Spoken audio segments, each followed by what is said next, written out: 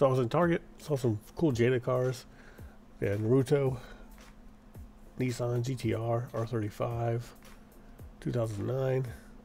It's pretty cool. Got the gray into the orange there to match his color scheme. Never seen that one before. And he also had some Street Fighter ones. Cammy and her Stingray Corvette, the 1969 ZL1. Looks really cool. Got some camouflage on there. And has the yellow stripe. So matches her color scheme pretty well. Figure wise and car wise. It's a good looking Corvette. Some art on the back.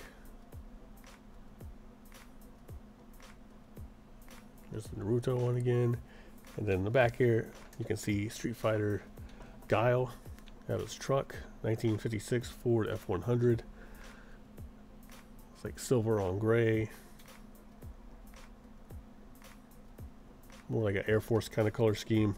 No green on the truck. Got your Guile Mini in there as well. Those look pretty cool. I like those a lot. You got Optimus Prime back there, but I see those all the time. So these were newer for my area to see. So it's pretty cool to see them. I saw the Street Fighter ones in Walmart once. Uh, I never seen the Naruto one in the store, so that was cool some Power Ranger ones up there, smaller ones. Got the Harley Quinn Corvette, the Stingray. So, cool Jada stuff. Thanks for watching, Triple R. Have a good day or night wherever you are. Smash that like button, hit that subscribe. I do appreciate it. Thanks.